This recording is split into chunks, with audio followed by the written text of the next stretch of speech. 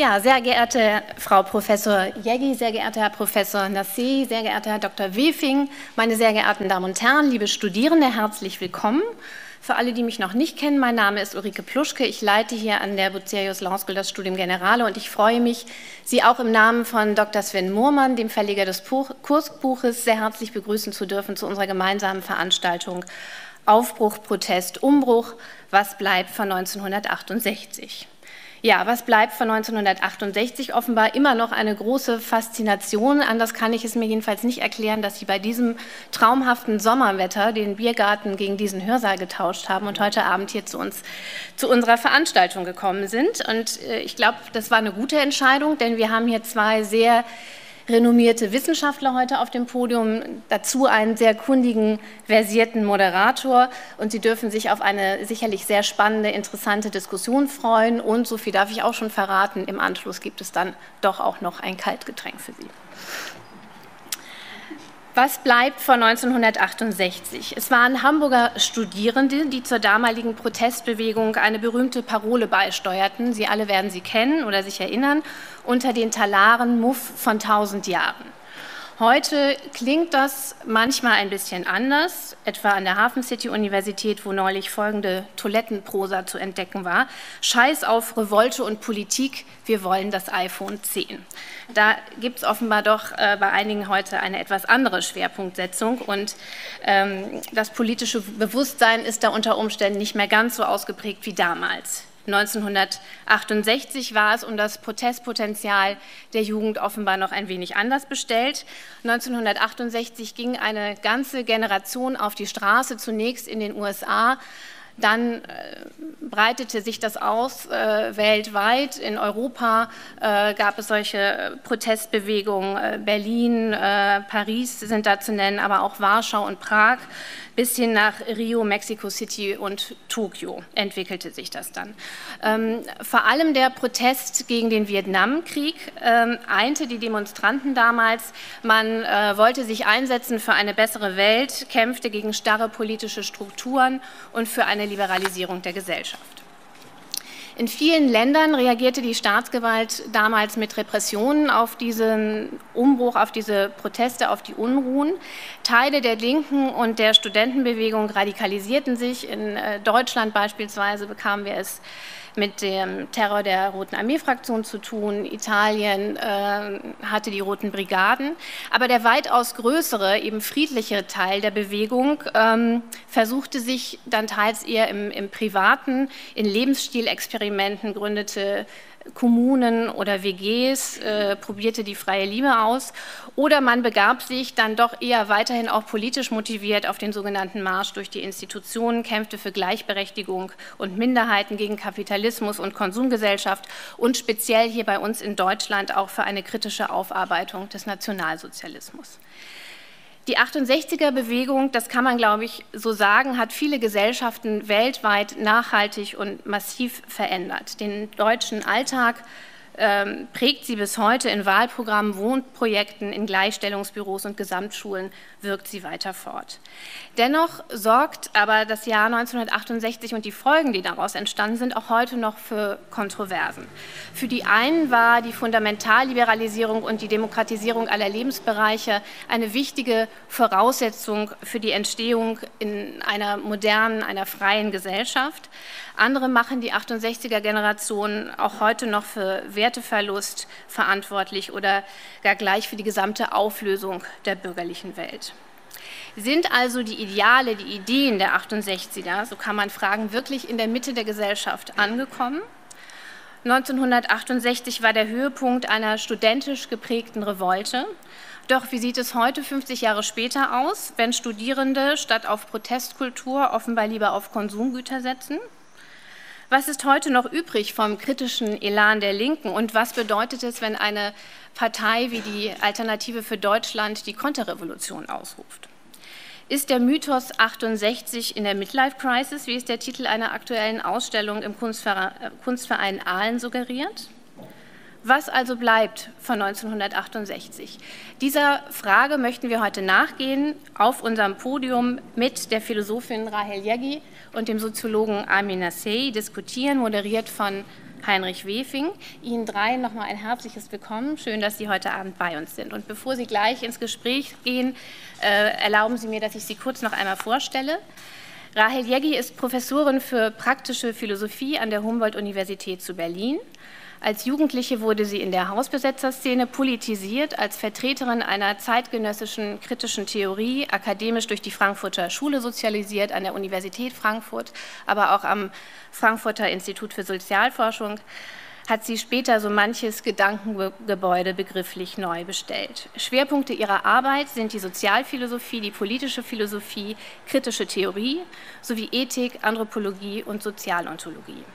Seit Februar 2018 leitet Rahel Jeggi das neu gegründete Center for Humanities and Social Change an der Humboldt-Universität zu Berlin, das die Krisen von Demokratie und Kapitalismus erforscht. Im Herbst erscheint ihr neues Buch über Fortschritt und Regression. Herzlich willkommen, Frau Jeggi.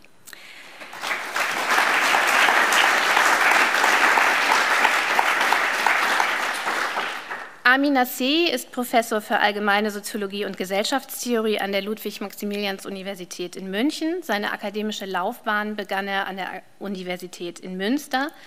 Nassés Soziologie schließt an die Systemtheorie nach Nikolaus Niemann, Nikolaus Niemann an.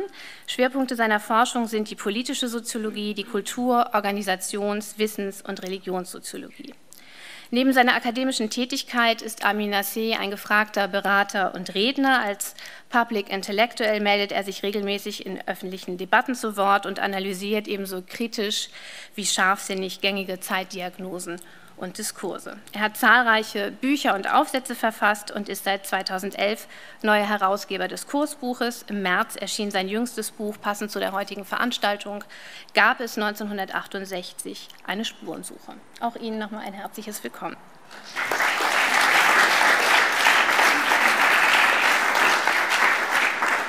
Durch den Abend führen wird uns heute Dr. Heinrich Wefing.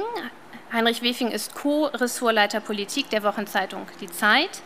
Nach dem Jura- und Kunstgeschichtsstudium und einer juristischen Promotion über Parlamentsarchitektur, ähm, sehr originell, wie ich finde, als juristische Promotion, war er viele Jahre für die FAZ tätig, unter anderem als Leiter des Berliner Feuilletons und als USA-Korrespondent. Seit 2008 schreibt er für die Zeit. Er ist Autor verschiedener Bücher, wurde für seine Arbeit mehrfach ausgezeichnet und gewann unter anderem im Jahr 2016 den renommierten Theodor-Wolf-Preis.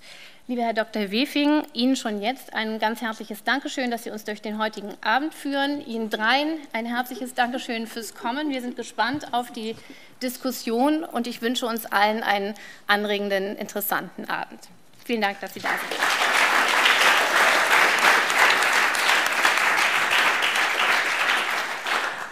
Ja, herzlichen Dank für die freundliche Einführung, für die Begrüßung. Ihnen, meine Damen und Herren, vielen Dank, dass Sie an diesem schwül tropischen Abend hierher gekommen sind und sich nicht in Ihre Badewanne auf Eis gelegt haben. Was bleibt von 1968? Ich glaube, heute Abend können wir sagen, ähm, man sieht es uns an. Äh, wir haben die Jacketts abgelegt. Ähm, vor 68 hätten wir wahrscheinlich im Dreiteiler hier gesessen mit Krawatte und Frau Jägi vielleicht gar nicht. Also das ist schon mal ähm, äh, ein großer äh, Fortschritt. Wenn Sie gestatten, würde ich die Diskussion ganz grob in drei Teile zu strukturieren, versuchen. Erstmal der Versuch äh, zu erklären, was war das eigentlich, dieses 1968? Was ist da passiert? Ähm, manche von Ihnen sind vielleicht näher dran als andere, aber den Studierenden müsste man vielleicht noch mal erklären, was damals passiert ist. Ich war auch nicht dabei, mich interessiert es auch sehr. Vielleicht können wir da einige Bohrungen machen. Was ist da genau geschehen? Warum ist es geschehen? Welches waren die Energien, die da am Werk waren? War das ein Epochenjahr? Ähm, und wenn nicht, warum nicht? Dann kämen wir zu der Frage, die Sie jetzt in den Mittelpunkt gestellt haben, was ist eigentlich geblieben von damals?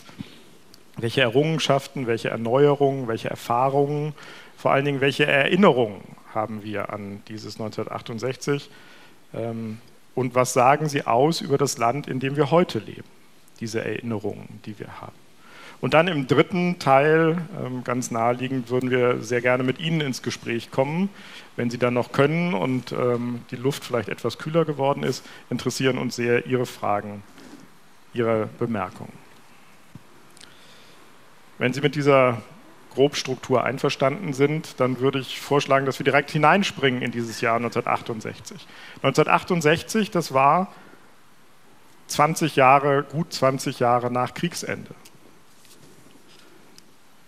Für die, die damals auf die Straßen gingen, war der Krieg so nah oder weit entfernt für, wie für uns heute das Ende der Ära Kohl und der Amtsantritt von Schröder-Fischer. Nur um mal so die Perspektive hinzubekommen. Heute sind wir 50 Jahre von 1968 entfernt, so weit wie damals die 1968er vom Ersten Weltkrieg. Also es sind große Zeiträume, die wir heute versuchen zu überspringen. Diejenigen, die damals auf die Straßen gingen oder genauer gesagt wahrscheinlich vor allen Dingen in ihren Universitäten aktiv waren, das waren Menschen, die kurz vor Ende oder kurz nach Ende des Krieges geboren worden waren, deren Eltern überarbeitete, überanstrengte Mütter waren, die Trümmerfrauen und deren Väter entweder abwesend oder im besten Fall sehr schweigsam waren. 68 war Deutschland auch ein anderes Land, ein sehr anderes Land als heute. Nur um das mal hier in der juristischen Fakultät, in der juristischen äh, Hochschule nochmal zu sagen, ähm, Kuppelei war damals strafbar, Homosexualität war strafbar, Abtreibung war strafbar, Vergewaltigung in der Ehe war nicht strafbar und es gab wahrscheinlich gar keine Vorstellung dafür, dass da ein Problem liegen könnte. 1968 hatte die Republik bislang nur CDU-Bundeskanzler erlebt und sowieso nur Männer in höchsten Staatsämtern. Der damals amtierende Bundeskanzler war noch ein strammer NS-Parteigenosse gewesen. 1945 galt noch als Niederlage und nicht als Befreiung. Und über den Holocaust wurde, wenn überhaupt, vornehmlich geschwiegen. Und in diesem Land dann gab es die Ereignisse von 1968. Vielleicht fangen wir damit mal an. Ein Zitat eines damals sehr jungen Mannes möchte ich gerne noch nennen, der damals dabei war und jetzt im Rückblick ganz aktuell geschrieben hat. Die Körper gelo wurden gelockert für den Sex, die Ohren wurden geöffnet für den Beat und die Köpfe für neue Ideen. Das ist vielleicht sehr euphorisch beschrieben, aber gibt auch schon mal eine Antwort darauf, wie erinnern wir eigentlich an 1968. Vielleicht fangen wir mal damit an, Frau Jägi, dass Sie vielleicht aus Ihrer Perspektive sagen, was waren die zwei, drei herausragenden Dinge, die Sie heute nennen würden, wenn Sie zu beschreiben versuchen, was war dieses 68? Also ich glaube, das erste haben Sie schon genannt, also sehr, äh, sehr prägnant ja schon benannt, als Sie gesagt haben, und Frau Jägi würde wahrscheinlich gar nicht hier sitzen. Ähm, das ist vermutlich richtig. Äh, das ist ja auch so, also wenn man guckt, wie viele Professorinnen es gibt, wie viele es auch speziell in unseren Fächern, also jetzt mhm. in der Philosophie gibt, ist das ja gar nicht, also wirklich gar nicht weit hergeholt. Das ist ganz klar so. Ich würde nicht hier sitzen. Äh, das heißt, dass eine der Sachen, die ganz sicher, obwohl das 68 erst angefangen hat und ja, wie wir alle wissen, im Protest eigentlich gegen die männlichen, also sozusagen in einem Binnenprotest gegen die männlichen äh, Protestierenden und den männlich dominierten SDS angefangen hat, war das sicherlich eine der, also die Frauenemanzipation, äh, die veränderten Geschlechterverhältnisse, eine der bleibenden und prägenden ähm, äh, Dinge, die da passiert sind. Das andere ist, glaube ich, äh, Erziehung, also der Umstand, dass, äh, also Sie hätten ja dazufügen können zu dieser sehr brillanten äh, Schilderung, was wäre dann so passiert, oder was wäre gewesen, wenn es jetzt 68 wäre, dann wären unsere Kinder in den Schulen noch, also nicht nur wir geschlagen worden in den Schulen, sondern wir würden, wenn unsere Kinder nach Hause kommen, Geschichten hören von Rohrstöcken, die gezückt werden. Äh, also das alles, glaube ich, äh, also die Veränderungen in diesen Lebensbereichen scheinen mir extrem wichtig zu sein. Und ich, das Dritte, was ich sehr, also immer wieder eindrucksvoll finde, ist, wie sehr sich die internationale Problematik, also wie mhm. sehr sich es ist ja so, dass in all den verschiedenen äh, Ländern es jeweils eine spezifische Konstellation gab, was die Länder betrifft. Also in Deutschland die Verarbeitung des Nationalsozialismus. Das hat in den USA ja natürlich keine Rolle gespielt, äh, in anderen Ländern jeweils ganz andere. Äh, Problematiken, aber dass sich das alles unter, also dass es sozusagen ein Querschnittthema gab, nämlich den Vietnamkrieg, mhm. finde ich immer wieder beeindruckend, dass es etwas war, was so viel, äh, also so solche Emotionen und so viel ähm, Solidaritäten mobilisieren konnte. Also dass der Umstand, dass äh, sich damals aus der eigenen Lage offenbar der Über Übertrag auf das, was dort passiert, irgendwie vorgeblich ganz abstrakt weltpolitisch passiert, dass das offenbar so brennend war und so nahegelegen mhm. ist. Mhm. Herr Nassi, im Grunde dieselbe Frage an Sie. Was nicht, noch gar nicht so sehr, was hat sich seitdem verändert, sondern was ist in dem Jahr eigentlich passiert? Ja, was ist in dem Jahr passiert? Also Ihre Beschreibung, auch deine Beschreibung, setzen ja eigentlich voraus, dass man relativ genau Kausalitäten benennen kann. Also dass man sagen kann, wenn 68 nicht gewesen wäre, so ähnlich war die Formulierung, äh, dann säße Rahel nicht hier, dann äh, würde es dies und das und all diese Dinge. Ja? Also da würde ich sozusagen als Soziologe sagen, und wenn ich ein Historiker wäre, würde ich das als Historiker sagen, so einfach kann man das wahrscheinlich nicht beschreiben. Ja, es ist eine hilflose äh, journalistische Zuspitzung, das ist ganz klar. Naja, das ist ja nicht nur eine journalistische Zuspitzung, sondern das ist eigentlich auch das, sagen wir mal, der Common Sense in der Öffentlichkeit, wie über 68 geredet wird. Also jemand, der das in der letzten Zeit sehr stark gemacht hat, ist Alexander Dobrindt, äh, dessen größter Makel übrigens darin ja. besteht, also er hat viele Makel, aber äh, dessen größter Makel darin besteht, dass er Absolvent unseres Instituts in München ist, aber drei Jahre bevor ich kam, also ich kann nichts dafür. Das würde heute nicht mehr passieren. Das würde, ja genau, das würde, okay, das ist das Ergebnis. Aber ernsthaft gesagt, ähm, sozusagen die, die, die, die, spannende Frage ist, dass 68 offenbar als Kulminationspunkt sehr gut funktioniert. Mhm. Aber man natürlich, und das ist, da ist die historische Forschung eigentlich seit 15, 20 Jahren schon relativ weit, man sagen kann, dass fast alle die Entwicklungen, von denen wir gerade gesprochen haben, was Geschlechterverhältnisse angeht, was das Bildungssystem angeht, was übrigens, was vielleicht der allerwichtigste Punkt ist, Möglichkeiten sozialen Aufstiegs äh, in den 70er Jahren angeht, für mich ist das eigentlich die, die, die wichtigste Wirkung von 68, die bis heute anhält oder dass die Konfliktlage bis heute anhält, dass all dies eigentlich früher begonnen hat. Übrigens auch als intellektuelle Geschichte früher begonnen hat. Äh, man kann sagen, dass auch in den eher konservativen Bereichen interessanterweise schon so etwas wie, was Habermas später kommunikative Verflüssigung genannt habe, zumindest problematisiert worden ist. Also es scheint eine längerfristige gesellschaftliche Entwicklung gegeben zu haben. Und dann muss man sich ja fragen, warum eine relativ kleine, und gleichzeitig sehr privilegierte Gruppe. Also hier sitzen auch einige Studierende, vielleicht gehören Sie zu relativ privilegierten Studierenden. Sie müssen sich aber vorstellen, dass Anfang der 60er Jahre unter 10 Prozent eines Jahrgangs Abitur gemacht haben. Die haben nicht alle studiert, weil auch viele Frauen dabei waren. Ja, muss, man so, muss man so sagen. Und äh, das heißt, es war eine relativ kleine Gruppe, die ähm, offenbar etwas an der Gesellschaft beschrieben hat, was starke Wirkung entfaltet. Es ist ja gar nicht so einfach, die Polizei oder den Staat dazu zu bringen, gegen einen zu sein. Also man, wir können ja jetzt alles Mögliche ausprobieren. Das meiste davon verpufft. Das ist nicht verpufft. Und das ist doch das ist das Interessante. Und das gilt international. USA würde ich ganz anders diskutieren. Da gab es schon vorher die Bürgerrechtsbewegung, äh, die von den Schwarzen zum großen Teil getragen wurde. Und das ist eine ganz andere Trägergruppe gewesen. Übrigens viel breiter in der Gesellschaft verankert. In Frankreich war es zum Teil eine proletarische äh, Geschichte, eine ganz andere Situation. Ähm, in, in äh, Südafrika war es natürlich eine, die die ersten Kritikpunkte an der Apartheid formuliert hat. Und in Südamerika kann man sich vorstellen, dass es vor allem um soziale Ungleichheit ging. Hier ging es vor allem um die Universität. Ne? Also äh, die Leute, also selbst Rudi Dutschke wollte eigentlich aus West-Berlin eine Universität machen.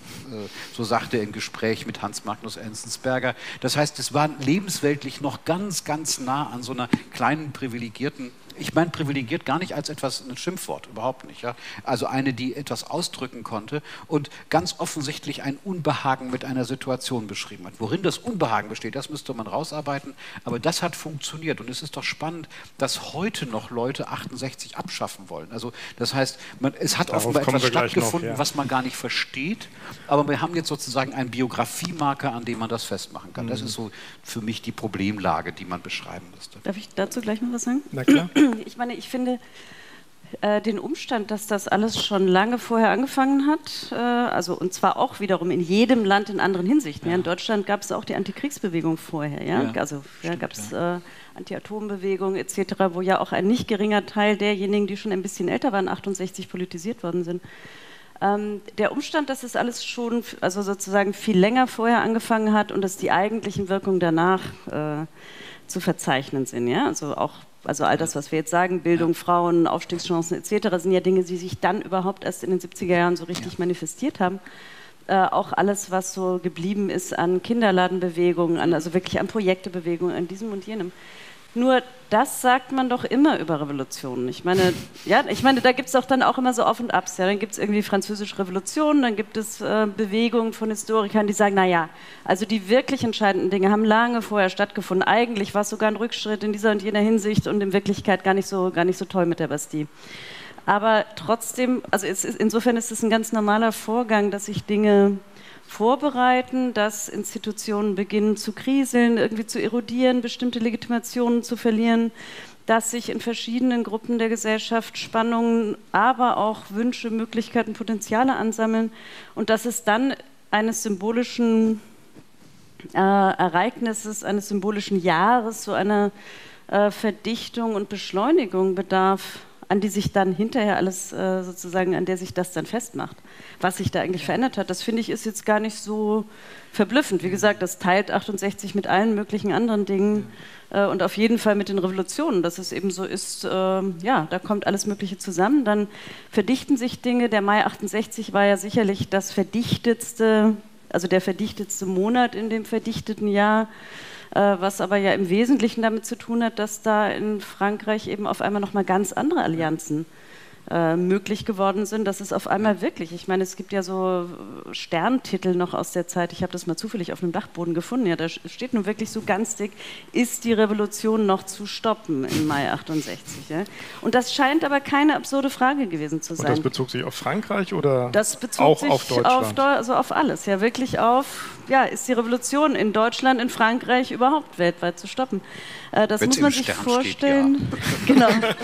Solange es noch im Stern steht. Solange es im Stern steht, kann man sagen, ähm, Nein, aber ich meine, insofern, das finde ich, ist alles vollkommen richtig, also was, was Sie beschreiben, aber es ist eben auch nicht weiter erstaunlich, weil die Dinge passieren eben nicht aus dem Nichts. Also das ist vielleicht keine Überraschung, vielleicht kann ich da ganz kurz dazwischen, ehe Sie nochmal ähm, darauf antworten. Ähm, das ist ja Teil oder eine wesentliche These Ihres Buches, dass das nicht Auslöser einer Bewegung war, sondern im Grunde Profiteure einer Bewegung, die schon in der Gesellschaft vorhanden war. Was war da genau in Bewegung? Das interessiert mich sehr. Ja, ich antworte sehr gern darauf, aber ich wollte zunächst mal sagen, es ist gar kein Widerspruch da, sondern äh, wenn das für alle Revolutionen gilt, dann ist, dann ist es klar, dass es hier auch gilt, aber der Mythos funktioniert ganz anders und man musste das 50 Jahre später vielleicht dann schon auch versuchen zu verstehen, um auch die. Gegenwart zu verstehen, würde ich fast sagen. Darauf wollen wir ja auch später noch kommen. Äh, wie, wie, wie solche Constraints eigentlich funktionieren. Warum hat sich eine bestimmte Form eigentlich durchgesetzt? Und ich glaube, dass die Ereignisse um 68 dafür natürlich ein Katalysator waren. Natürlich haben sie das, deine Formulierung war verstärkt, ja, das ist richtig. Ist auch ein symbolisches Ereignis gewesen. Aber spannenderweise haben sie sich dann sozusagen in einer ganz anderen Art und Weise durchgesetzt. Vielleicht, und darauf kommt es mir an, viel wirkmächtiger als wenn man sich nur diese Ereignisse anguckt. Also für Deutschland kann man ja fast sagen, ähm, dass man sagen kann, das hat 67 angefangen, stimmt nicht ganz, das hat vorher schon einiges gegeben, aber sagen wir mal 67 mit, der, mit dem Tod von Benno Ohnesorg und bis 69 Auflösung des SDS. Das, das ist ja nicht lang, das sind anderthalb, knapp zwei Jahre. Und dann kann man sagen, und dann war es vorbei, dann ist es gescheitert, dann ist Willy Brandt Bundeskanzler geworden und es gab den radikalen Erlass und alle, die aktiv waren, durften dann eigentlich nicht. Für den radikalen Erlass gab es ja eine eher weltpolitische Erklärung als eine innenpolitische. So, und, aber wenn man das so beschreibt, dann hat man 68 beerdigt und dann sieht man, kann man überhaupt nicht erklären, was sich eigentlich in der Zeit danach an, und da würde ich wirklich sagen, radikalen Veränderungen unserer Gesellschaft tatsächlich gezeigt hat und zwar interessanterweise mit Wirkungen, die persistieren, also die gelten bis heute. Und das finde ich eigentlich das Spannende. Also, ich, also meine These wäre sozusagen, 68 viel stärker zu machen als diejenigen, die das Ereignis selber für, für sozusagen das, ja, also den Auslöser oder ähnliches mhm. halten. Und insofern äh, würde ich da jetzt gar keinen Dissens sehen, sondern ich würde eher sagen, äh, das ist auch das, was mich als Soziologe interessiert, warum braucht man eigentlich solche Ereignisse, um Dinge beschreiben zu können? Ja, also werden wir irgendwann mal über ähm, den, den 11. September so reden, dass der die Welt verändert hat, würde man ja auch sagen, naja, der hat, natürlich, der hat natürlich eine ganze Menge verändert, aber da hat davor und danach auch einiges stattgefunden, was also ganz nach dem Schema. Nochmal die Nachfrage, was war das, was vorher schon in Bewegung naja, geraten okay. ist? Also das wollte ich ja beantworten, stimmt ja. Also was, was war das? Also ich meine, wenn man, wenn man, wenn man sich, die, wenn man sich die, die Maßzahlen anguckt, dann kann man sagen, ökonomischer Erfolg. Also mhm. das darf man nicht unterschätzen, was das eigentlich bedeutet. Der äh, Bundesrepublik. Der, also ich rede nur von der ja, Bundesrepublik genau. zunächst. Ja? Also ökonomischer Erfolg. Die Einführung eines Gesamtwirtschaftsplans, das, das ist vielleicht etwas, was auf den ersten Blick nicht besonders wichtig erscheint, aber auf einmal taucht in der Öffentlichkeit eine Diskussion darüber auf, wie man mit ökonomischen Krisen umgehen kann. Und das war ein Thema von Politik. Eine Verwissenschaftlichung von Fragestellungen. Eine sehr, sehr lebendige öffentliche Kultur. Man denke an die deutsche Theaterszene, man denke an die Philosophie, man denke tatsächlich auch an die Universitäten. Eine sehr, sehr spannende Diskussion, ähm, die sagen wir mal, das Thema Holocaust das erste Mal überhaupt einigermaßen so ein bisschen thematisiert mehr gemacht hat. Also dieser Mythos, dass sich die 68er vor allem mit dem deutschen äh, Nationalsozialismus auseinandergesetzt der stimmt ja nicht. Also das ist sozusagen, vorher hat es ein bisschen was dazu gegeben. Es gab Hannah Arendt es, als, als eine geradezu Fremdheitsfigur, spannenderweise. Äh, es gab Hannah Arendt, es gab den Eichmann-Prozess, es gab die Frankfurter, die Frankfurter äh, Prozesse, äh, Prozesse, die man gegen großen Widerstand durchsetzen musste, überhaupt zu thematisieren. Und dann kam eigentlich 79 erst der Film Holocaust, der, äh, der also am Ende dieses Jahrzehnts das Thema als sozusagen großes Thema in der öffentlichen Diskussion festgemacht hat. Die, die Idee sozusagen, die Gesellschaft jetzt für faschistisch zu erklären, würde ich fast sagen, ist eher eine Strategie gewesen, ähm, ähm, sozusagen das, das, das, das Land für so, also so schlecht zu reden, dass sich so etwas wie eine revolutionäre Situation tatsächlich legitimieren kann. Das ist kein, das ist kein Angriff auf die Leute, sondern das ist eher sozusagen der Versuch zu zeigen, dass natürlich in Deutschland mit dieser Chiffre Faschismus, mit, dem, mit der Chiffre Nationalsozialismus die größte Differenz überhaupt formuliert werden kann, die man formulieren kann. Ne? Viele Renegaten diskutieren zurzeit die Frage des inhärenten Antisemitismus der damaligen Linken, den es sehr, sehr stark gegeben hat. Also die große Ikone Ulrike Meinhoff war gleichzeitig auch eine strukturelle Antisemitin, das muss man, das muss man ganz klar sagen. Und das heißt, es gab selber ein sehr, sehr, sehr, sehr ambivalentes Verhältnis zu dieser Frage der Aufarbeitung. Übrigens bis heute persistierend. Frau Jäger, eben ist es wieder gefallen, das Wort. Sie haben es eben auch ganz selbstverständlich benutzt. Revolution. War das eine Revolution? Nein, natürlich. Also war das eine Revolution? Es war eine Revolte, die in längerfristige Transformationen äh, gemündet ist. Ja? Also man kann jetzt nicht sagen, es war einfach nur eine folgenlose, ein folgenloser Aufstand. Äh, nee. Das klarerweise nicht, weil wir reden ja die ganze Zeit darüber. Eigentlich hat es dann äh, sozusagen das Folgende ähm, verändert. Gleichzeitig hat es ja nicht die radikale, grundlegende Transformation, die angestrebt war und die vielleicht das ist, was man dann für eine Revolution halten würde, äh, ausgelöst. Ich will noch mal zu der Sache mit dem Mythos und mit dem ja irgendwie komisch, dass man sich dann an diesem Jahr festmacht. Also auch nur in dem Versuch, wir müssen uns ja irgendwie auch ähm, auseinandersetzen.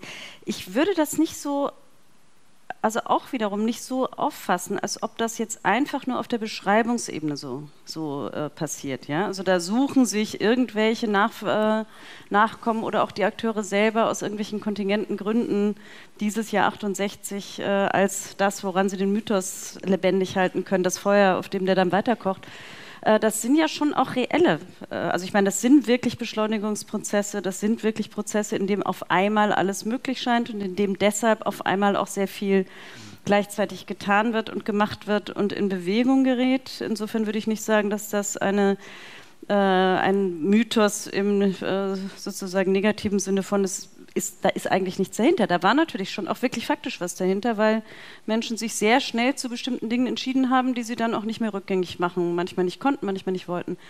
Äh, und der zweite Punkt dabei ist, dass es natürlich etwas mit, wenn Sie von Mythos reden, etwas mit, wenn du von Mythos redest, etwas mit der Selbstverständigungsebene zu tun hat. Ja, die Akteure verstehen sich auf einmal so, dass sie jetzt gerade Teil einer solchen wie auch immer revolutionären, radikalen Bewegungen sind. Das macht ja was mit ihnen, das macht was mit dem, was sie tun, auch wiederum mit dem, was sie glauben, jetzt bewegen zu können. Also dieser Möglichkeitssinn von, jetzt können wir, jetzt müssen wir auf bestimmte Sachen keine Rücksicht mehr nehmen, können das nicht, sollten das nicht, weil die Situation so zugespitzt ist. Also das sind ja immer da kommt ja von beiden Seiten etwas. Ja, die Situation spitzt sich zu und sie wird von den Akteuren zugespitzt und dann passieren eben äh, Dinge, die sich auf einmal ereignishaft darstellen, auch wenn sie eine Vorgeschichte haben und, und eine Nachgeschichte ja. haben. Und ich finde eigentlich wichtig äh, und interessant einen zweiten Punkt, der ja auch in dem, was du, äh, was du beschreibst, anklingt, nämlich äh, also gar nicht die Frage, wie wichtig sind jetzt diese Kulminationspunkte, sondern die Frage, was sind eigentlich die passiven gewissermaßen Vorbedingungen dafür, dass das, was dann aktiv als Revolte, als, als antiautoritäre Bewegung äh, passiert ist, sich überhaupt entwickeln kann. Und da geht es ja viel mehr um. Also das, das was du gerade auch schon äh, geschildert hast, eine bestimmte ökonomische Situation, eine kulturelle Lage, in der äh, sehr viel an avantgardistischer Kultur und Infragestellung, an bohemienhaft existenzialistischem Aufbruch schon da war. Also auch da gibt es ja eben alles Mögliche an, äh, an Vorbedingungen, aber es gibt ja vor allem eine Situation, in der sich also Bildung ja nicht einfach nur zufällig zum Thema gemacht wird, sondern es klar ist, dass die Arbeitsverhältnisse zunehmend Bildung, ein bestimmtes Reflexionspotenzial, bestimmte kommunikative Fähigkeiten verlangen. Und das ist ja auch das, was sich in, sozusagen dann im Laufe der 70er Jahre immer weiter bestärkt und verstärkt hat, ja, sodass man sagen kann, dass solche radikalen gesellschaftlichen Transformationen also ich würde es beschreiben mit, mit, dem, äh, mit einem Ausdruck, den Marx verwendet, wenn er sagt, Revolutionen brauchen immer ein aktives und ein passives Element. Und es gibt eben gewissermaßen passive Vorbedingungen. Da verändern sich Dinge in der Welt, die gar nicht von Akteuren so gewollt werden, sondern eben in bestimmten Konstellationen sich so verändern, dass Möglichkeiten aufscheinen und andererseits aber auch äh, nicht einfach nur, weil Akteure selber Institutionen zu Fall bringen wollen, sondern weil die schon erodiert sind. Ja? Und dann gibt man denen noch so einen Schubs. Also da muss schon irgendwie gewissermaßen was passiert sein, damit man darauf reagieren kann. Ich finde, das schmälert gewissermaßen nicht, den, nicht die Rolle und nicht die Leistung der weltgeschichtlichen Akteure hier, sondern es ist einfach ein Ineinander von Möglichkeiten und Aktivitäten, auf die Weltgeschichte angewiesen ist. Ne? Also es sieht immer so ein bisschen aus, als sei ich der Überbringer irgendwie einer schlechten Botschaft. Ich will gar nichts schmälern, ganz im Gegenteil. Also für, für, wirklich ganz im Gegenteil. Und ich würde auch zum Beispiel das an so einem Begriff festmachen. Mythos heißt nicht, dass es etwas ist, was es nicht gegeben hat. Mythos heißt, dass man dafür eine ästhetische Form findet. Ja? Und die ästhetische Form hat man gefunden. Interessanterweise nicht nur in dem, was wir also als Straßenkampf kennen, sondern eben auch, es wurde gerade erwähnt, als Popkultur, als, äh, als tatsächlich Formen privater Lebensformen, die sich, die sich befreit haben und so weiter. Aber es ist sozusagen ein Mythos in dem Sinne, dass das dadurch erzählbar geworden ist. Mhm. Wenn jemand wie dieser schreckliche Gauland direkt nach der Bundestagswahl im letzten äh, September hingeht und sagt, wir holen uns das Land zurück. Sie erinnern sich wahrscheinlich an, die, an diese gespenstische Szene, die ja zurzeit tatsächlich also auch durchgeführt äh, wird. Das muss man ja leider Gottes so sagen. Äh, mit, mit, mit, mit dieser Intention ist genau das mhm. gemeint. Ja, von denen ja nämlich holen von, wir uns genau, das zurück. Ja, genau, also äh, genau, von denen holt man es sich zurück. Ne? Also heute gab es die Meldung, die wollen eine, eine Plattform machen, wo kritische Lehrer äh, aufgelistet aufge, ähm, werden. Jetzt nur mal, das ist gar nicht jetzt, dass, dass daran jetzt irgendwie die Weltgeschichte sich verändert, aber das ist so ein, so ein Zeichen dafür, dass an einem Symbol des kritischen Lehrers sich die Dinge tatsächlich festmachen lassen. Und Du sagtest gerade, es gab natürlich diese, diese Bedingungen, die da sind. Ich hatte darauf ja auch hingewiesen. Das würde ich auch genauso sehen.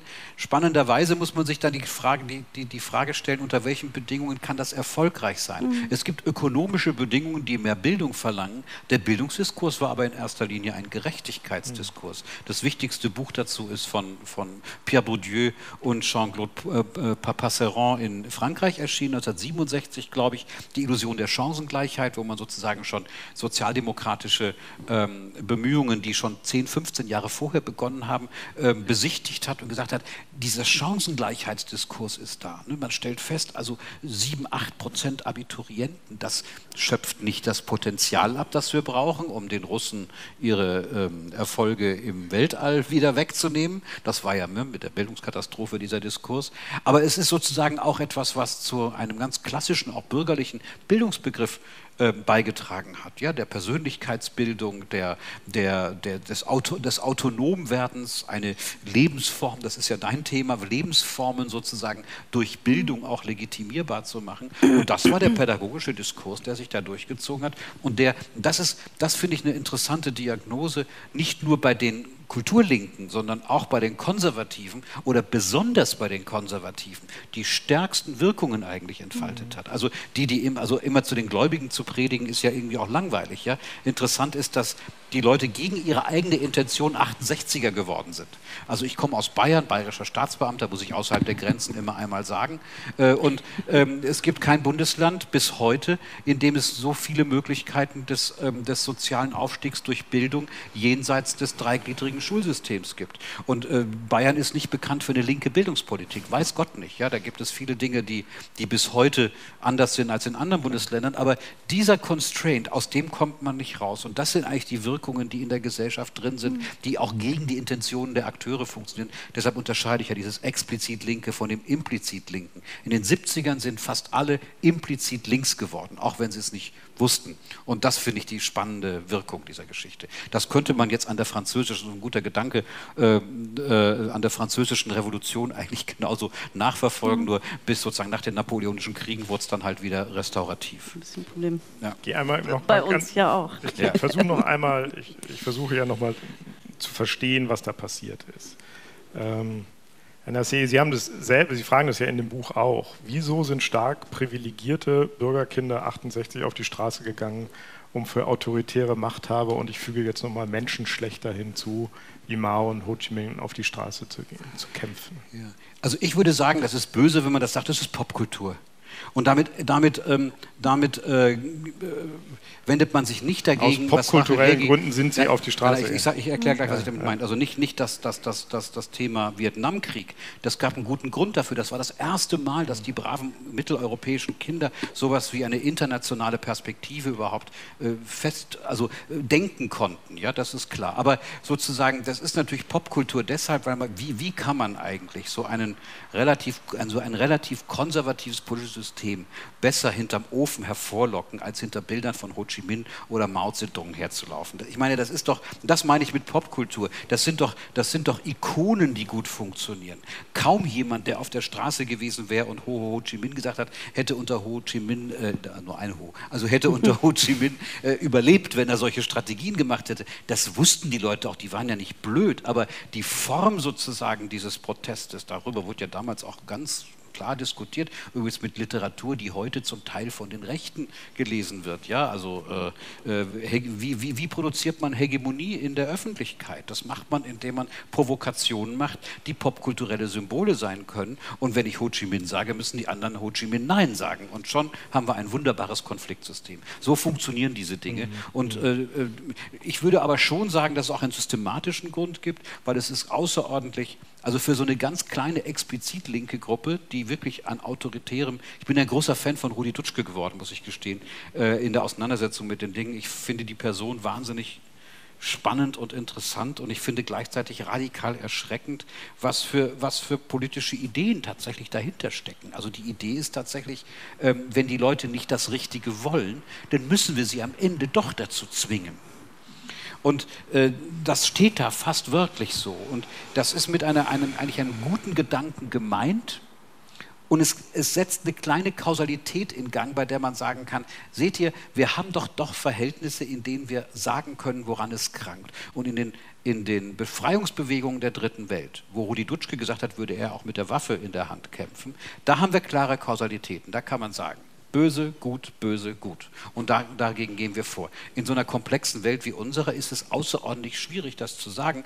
Über die CDU wollen wir nicht groß reden, aber selbst bei Sozialdemokraten weiß man nicht genau, gut oder böse. Willy Brandt war gut, weil er eine entsprechende Biografie hat und böse, weil er ähm, vor nichts mehr Angst hatte als vor den Linken, die richtige Linke waren und nicht sozialdemokratische Reformpolitik gemacht haben.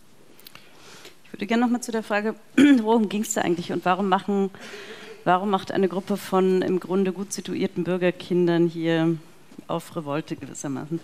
Das ist ja auch wiederum in anderen Ländern anders gewesen und äh, es gab da andere Einzugsbereiche und auch andere, also sozusagen eine andere Organisationsstufe allein schon sozusagen. Ja. In, in Frankreich war das einfach anders, Klar, weil die Kommunistische Partei eine andere Rolle gespielt hat und es eine andere Verbindung gab und eben genau, also sozusagen der revolutionärste Moment ist genau dadurch entstanden, dass das auf einmal, ja, also dass die, die sich auf einmal verbündet haben. Äh, aber ich finde, dass eigentlich, also das interessant ist, wenn äh, Amin C. sagt, es ging um Inklusion, es ging um äh, Gleichheit und um Aufstiegschancen. Interessant ist doch dann tatsächlich, warum machen die, deren Aufstiegschancen eigentlich gesichert waren? Deren Aufstiegschancen sogar eigentlich eher ein bisschen nachgelassen haben, dadurch, dass auf einmal die Universitäten voll waren, es eine Bildungsexplosion gab und die Konkurrenz im Grunde größer war. Ja? Das war ja irgendwie im Grunde bei den 10 Prozent, die da Abitur gemacht haben, von denen dann, wie du richtig gesagt hast, noch weniger studiert haben, war es doch irgendwie klar, dass die einen guten Job im ja, im System gewissermaßen kriegen würden. Äh, das war jedenfalls keine äh, Bewegung, die von Prekaritätsängsten gezeichnet war und gezeichnet sein musste. Und ich finde, der, ich würde deshalb der These, es ging im Wesentlichen um Inklusion und diese Transformationen passieren alle so, dass immer weiter inkludiert wird.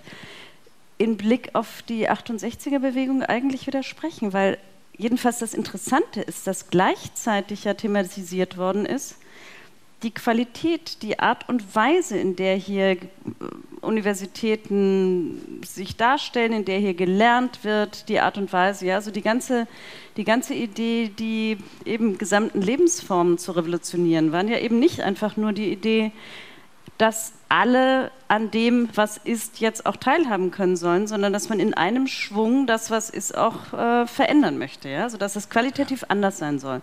Nicht nur Universitäten, wie wir sie haben, jetzt sollen mehr rein dürfen, Schulen, wie wir sie haben, jetzt sollen mehr äh, damit Erfolg durchlaufen, sondern wir wollen die Schulen komplett ändern. Wir wollen andere Formen des Unterrichts, antiautoritäre Erziehungsmethoden. Äh, andere Formen der Geschlechterverhältnisse. Also auch da, wir, es ging ja nicht nur darum, die Frauen sollen jetzt auch in den Arbeitsmarkt äh, rein dürfen, auch wenn das natürlich der Effekt im Ende war. Ja? Aber das ist doch ein interessanter Moment und ich würde das also beschreiben mit dem, was Boltanski-Capello, die ja unterscheiden zwischen Künstlerkritik und Sozialkritik, also der Art von Kritik, der es um ein anderes, authentisches Leben im Modus der Selbstverwirklichung geht, äh, auf der einen Seite und auf der anderen Seite eben um die sozusagen klassischere Sozialkritik der sozialen Frage, wo es um Inklusion, Aufstieg, äh, den gerechten Anteil in den Ressourcen geht. Und das Interessante an 68 ist doch das und wie und warum das sozusagen in einem Moment zusammen, also zusammenkam. Sie haben es ja schon mehrfach erwähnt, ähm, sowohl Dobrindt als auch Gauland, ähm, die sich immer wieder auch Liberale, also FDP, Generalsekretäre und dergleichen, ähm, die sich immer wieder auf 68 beziehen. Und manchmal könnte man den, den Eindruck gewinnen, stärker denn als Chiffre für Veränderung ist das eine Mobilisierungsformel für die andere Seite inzwischen ja. geworden. Ja, Wie konnte das passieren? Und ich meine, interessant ist ja auch, wenn die sich auf 68 beziehen, dann interessanterweise sogar weniger auf die Inklusions- und Ungleichheitsfrage als Überhaupt auf die nicht. Momente kultureller Liberalisierung. Ja? Also ja. der Feind 68 ist aus deren Sicht tatsächlich genau nicht also jedenfalls nicht nur das, sondern der Feind 68 ist, dass die Frauen jetzt da überall rumlaufen, dass äh, All-Gender-Toiletten eingeführt werden, dass also ja sozusagen alle diese Momente von Na, die äh, auf Gymnasiallehrer und Lebensfall, so, genau. Ja, ja das ist ein interessanter Punkt. Also ich meine, es gibt ja verschiedene Mobilisierungsquellen äh, für die. Ja? Nicht, also nur ein Teil davon hat mit 68 überhaupt irgendetwas zu tun, aber irgendwie gibt es so diese ganze, äh, ganze Idee, dass die linken hegemonialen Eliten sich irgendwie in all diesen äh, Dingen zeigen. Also im Niedergang der wirklichen Erziehung, im Niedergang einer bestimmten Art von Autorität, in eben der, in der Zerstörung der Familie, all diese, diese Dinge werden ja in so, ich meine, das sind ja relativ diffuse mhm. Zuschreibungen, ja, das geht ja von 68 bis zu Queer Theory, bis zu, ja, wer da alles jetzt dafür verantwortlich ist, dass wir keine Heimat mehr haben und keine Familie mehr haben. Äh, das ist ja eine große und nicht immer klar konturierte Gruppe, der das äh, vorgeworfen wird. Und 68 gehört da, passt dann natürlich aber interessanterweise genau hinsichtlich der äh, der Veränderung von Lebensformen und der Veränderungen einer ganzen gesellschaftlichen Kultur gut rein. Ne? Und das funktioniert. Also einer der größten Skandale, wenn ich das hier sagen darf, in diesem Jahr ist, dass Rüdiger Safranski den Deutschen Nationalpreis bekommt dieses Jahr. Ich halte das wirklich für einen Skandal. Äh, dass äh, dieser Mensch den bekommt dieses Jahr, kriegt 50.000 Euro dafür, damit er sich in Badenweiler noch einen kleinen Zaun um sein Haus machen kann. Äh, Sagen Sie erstmal, warum das ein Skandal ist. also Rüdiger Safranski, ich meine, das ist sozusagen so, so, ein Monumentalhistoriker, das kann man schon aus wissenschaftlichen Gründen für, für wenig äh, zielführend, wenn ich das mal so sagen darf, halten. Aber darüber kann man ja inhaltlich diskutieren. Also das ist der, der hat uns sozusagen die, die, die großen deutschen Männer äh, näher gebracht, von Goethe über Schiller bis.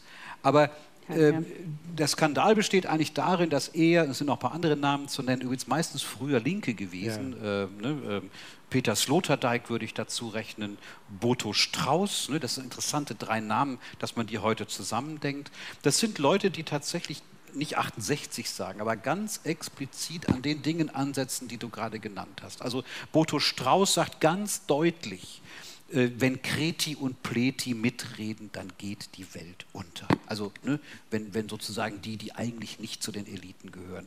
Safranski redet davon, dass man sozusagen doch sehen muss, dass es gewachsene Völker gibt und dass diese Völker natürlich eine stärkere Integration innerhalb ihrer selbst haben und man deshalb Maß halten muss und so weiter. Und ähm, äh, Sloterdijk raunt unfassbares Zeug darüber, dass mit den Flüchtlingen Menschen kommen, mit denen, das sagt ein Philosoph, mit denen wir nichts gemein haben. Das ist also Zitat, ja. Äh, das ist ja, also man kann sagen, okay, da sind mal ein paar Begriffe ausgerutscht, da ist nichts ausgerutscht. Das sind, das sind genau die Chiffrierungen, mhm. die an diesen Geschichten ansetzen. Und dafür, das kann man ja jeder machen, das ist ja auch erlaubt. Und es ist auch ein klarer, wir haben vorhin über Hegemonie geredet, es ist auch eine ganz klare Hegemoniestrategie. Ja? Absolut. Zu gucken, wohin kann ich das wie verschieben, wie weit kann ja. ich es. Äh, kann ich die Grenze dessen verschieben, dann immer mit diesem selbstmitleidigen, ich traue mich jetzt mal das zu sagen, ja.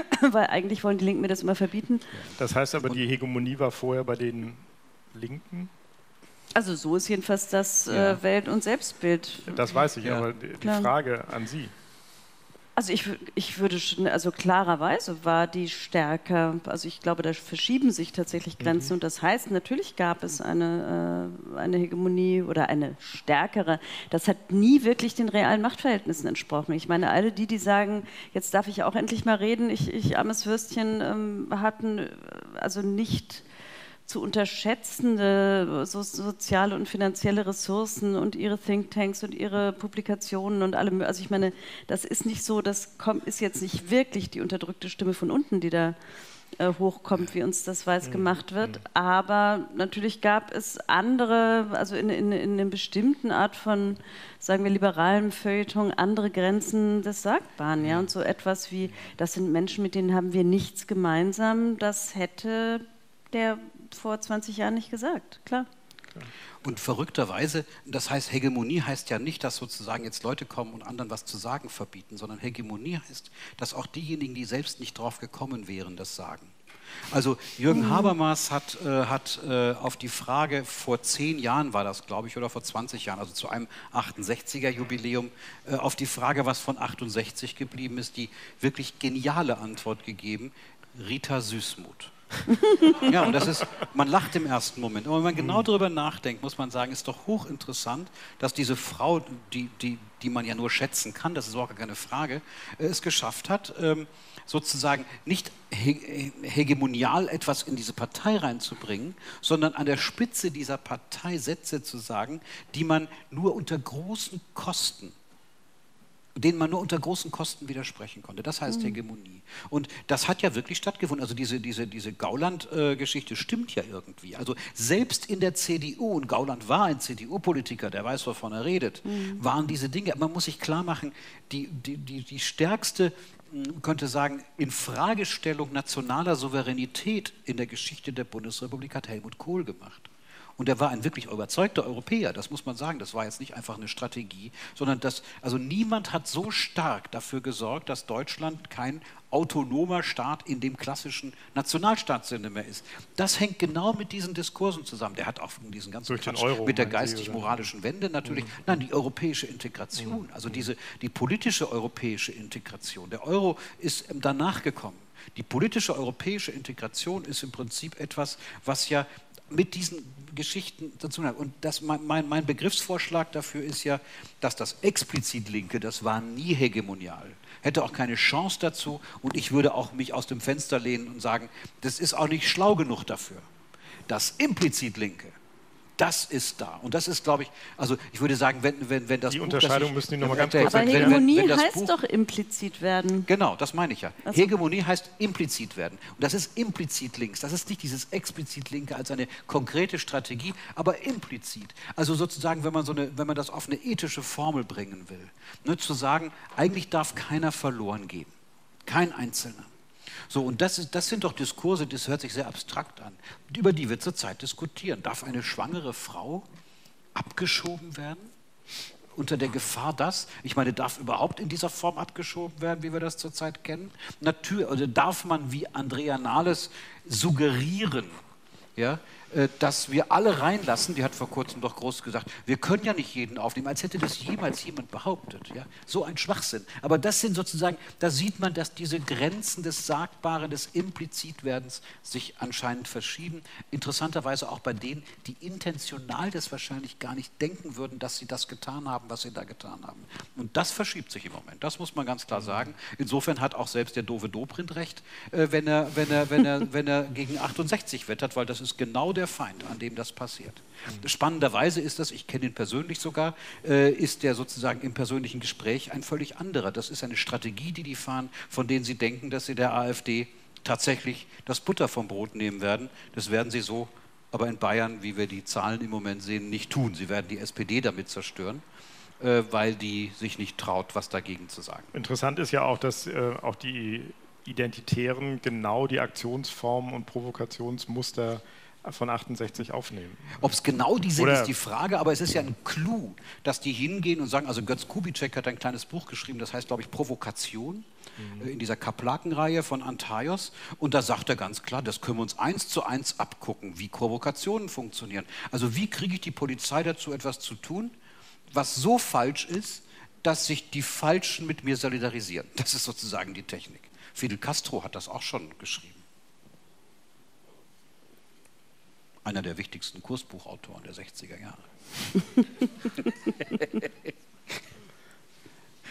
Eine ganz wesentliche Veränderung haben wir vorhin schon angesprochen, gleich zu Anfang, wie weiblich war oder wie feministisch ist 68 und die Folgen. Da hatten wir ja schon angesetzt. Ist das vielleicht sogar die, die wichtigste Veränderung, die durch 68 angeschoben worden ist? Also ich glaube, es gibt nicht wenige, die sagen würden, und zwar nicht nur Frauen, die sagen würden, ja, also das mhm. ist eine der Dinge, die äh, dort angefangen hat und die geblieben ist und wo sich tatsächlich Veränderungen, die sich so stabilisiert haben, dass sie auch ähm, bis in, bis zu denjenigen hinein, die nun wirklich eine ganz andere Position vertreten und äh, ja, die Vorstellung haben, jetzt wieder heile Familien bauen zu wollen. Selbst da hinein lässt sich das ja ganz offenbar nicht verändern. Also ich meine, auch die AfD Politikerinnen entsprechen nicht mehr dem Bild von Weiblichkeit, äh, mhm. Also jedenfalls sozusagen in entscheidenden, nicht, alle, ja, in entscheidenden Hinsichten und entscheidende Figuren da entsprechen dem gar nicht mehr. Und dann fragt man sich mal, wie funktioniert das eigentlich zusammen? Also ja. wie klappt das eigentlich, dass äh, diejenigen, die profitieren davon oder die sozusagen letztlich Effekt dieser Art von Liberalisierungsbewegung sind, äh, sich trotzdem exakt gegen nicht nur das Milieu, das diese hervorgebracht hat oder als Effekt erzeugt hat, äh, sondern eben genau gegen diese Politiken wenden. Aber das ist, also da gibt es etwas, was tatsächlich, äh, wo das implizit werden von dem Nassé spricht, irgendwie auch noch funktioniert hat. Das heißt überhaupt nicht, dass das äh, ein ausge äh, ein beendeter Kampf, eine beendete Auseinandersetzung ist, alles andere. Aber da hat man das Gefühl, die ist jetzt auch wirklich nicht mehr vom Tisch zu wischen. Ja, das würde nicht mehr funktionieren. Mhm. Also da würde ich sagen, ja, aber die Erziehung ist sicherlich ein anderer Punkt. Ja, wenn man sich Schulen heute anguckt, ich meine nicht, dass die, die sind unterfinanziert, die haben zu wenig Ressourcen, äh, die haben vor der Aufgabe der wirklichen Inklusion schrecken die zurück und haben dazu auch nicht die richtigen, also weder die richtigen Ressourcen noch die richtigen Techniken äh, in vielerlei Hinsicht und trotzdem und auch nicht die richtigen, ja, braucht ja dann auch ganz andere pädagogische Prinzipien. Aber zu einer, also sozusagen klassischen, zu der Art von autoritärer Erziehung und auch zu der Art von Frontalunterricht, wie das damals, also das mhm. wird sich alles auch nicht, mhm. ja, das ist sozusagen so durchgesickert, ja, wenn Sie heute in, in ich weiß nicht, wie das in Bayern ist, ja, aber äh, wenn Sie in Berlin in eine Grundschule äh, in den entsprechenden Vierteln gehen, dann wird man finden, dass bestimmte, jedenfalls sozusagen in den ersten Stufen, ja, dass bestimmte Prinzipien, die mal eindeutig Reformpädagogik waren, dass die sich einfach flächendeckend, ja, die werden nicht immer gut umgesetzt, eben weil es zu wenig Ressourcen gibt, ja, und weil mhm. das, äh, mhm. weil das alles ganz andere Dinge braucht. Äh, aber irgendwie eine Vorstellung davon, dass Kinder nicht irgendwelche äh, undisziplinierten Barbaren sind, die man jetzt erstmal so auf Trab äh, bringen muss und äh, in die Disziplin einzwängen muss, das hat sich so einigermaßen durchgesetzt, glaube ich. Also da gibt es bestimmt ein paar Sachen, die sind, wo man es schwer finden wird, das wieder mhm. komplett zurückzudrehen. Also das finde ich auch und also das, man könnte jetzt über die Effekte diskutieren und fragen, ob sozusagen es nicht sozusagen auch schon eine, eine Form gibt, bei der wir mit Asymmetrien gar nicht mehr umgehen können. Es gibt Asymmetrien in der Gesellschaft, die durchaus auch ihre Funktion haben. Damit meine ich nicht Autoritäres und so. Aber das wollte ich gar nicht sagen. Es gibt einen spannenden paradoxen Effekt eigentlich, was diese sozusagen für das, das Selbstverständlichwerden dieser, dieser äh, Geschlechtergeschichte angeht. Also sehr gut ist dafür ist die, ist die, ist die Lektüre dieses von dieser, wie heißt das, äh, Tichys Einblick. Das sind ja so Rechtsliberale, könnte man die vielleicht nennen, die sehr, sehr stark am rechten Rand mhm. auch so ein bisschen löcken. Und die entwerfen ja, da gibt es Autorinnen, die das dort machen, eine Art von deutschem Feminismus. Mhm. Das finde also das ist einerseits ein Hinweis darauf, dass auch dort kann man eigentlich gar nicht mehr äh, diese Unterscheidung. Man kann nicht hingehen und sagen, jetzt lass doch mal die Männer reden, die Frauen haben jetzt 30 Jahre geredet, jetzt ist aber auch mal genug. Das kann ja kein Mensch sagen, das wollen die, glaube ich, auch gar nicht sagen. Aber die sagen natürlich, Frauen, die ähm, äh, muslimische Frauen sind oder Frauen von woanders oder Frauen, die, äh, die können nicht. Und Frauen sind natürlich genau das Symbol dafür. Das hängt natürlich sehr stark auch mit diesen Themen der 68er zusammen. Das hängt stark mit, mit Sexualität, Familie und diese ganzen Themen, die natürlich eine Rolle spielen. Aber dieser rechte Feminismus ist einer, der ja einerseits anschließt daran, dass es eine Augenhöhe zwischen Männern, Männern und Frauensprechern gibt und auf der anderen Seite die Asymmetrie eingeführt wird, die, für die sich Rechte immer interessieren. Also es ist schon ganz spannend zu sehen, dass du hast, glaube ich, gerade gesagt, das sind die Nutznießer ja, mhm. auch dieser Geschichten, dass das bis in diese Bereiche mhm hineingeht. Das ist wirklich verrückt. Und da kann man sagen, wie stark sich solche Ideen eigentlich von ihren Trägern trennen können und dann, äh, und dann äh, stark werden. Meine, Na, ich meine, das, ich ja. meine, das eklatanteste Beispiel dafür, wie das gewendet wird, ja, war ja nun diese äh, rechte Frauendemo in Berlin. Richtig, ja, die ja, mit Parolen, stimmt. die aus der 70er Jahre Frauenbewegung kommen. Ja? Die Straße gehört uns, wir wollen, un, wir wollen wieder äh, äh, unbeschadet über die Straßen gehen können. Wir wollen Herr über, also, oder Frau über unsere, ähm, unsere Körper sein.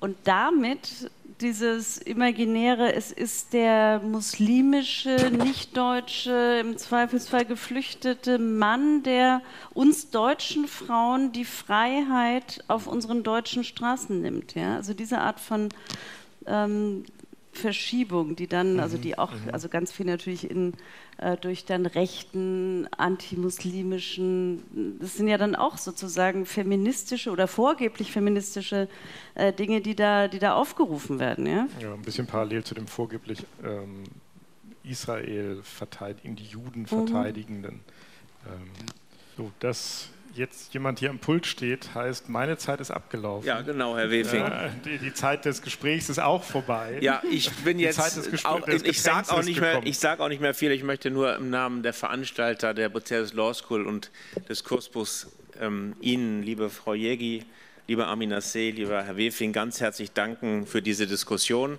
Und ich habe mich schon heute Abend, ähm, und ich glaube, unser Namensträger, Herr Bucerius, hätte das schon auch so empfunden, etwas wie an einer Universität gefühlt. Vielen Dank dafür.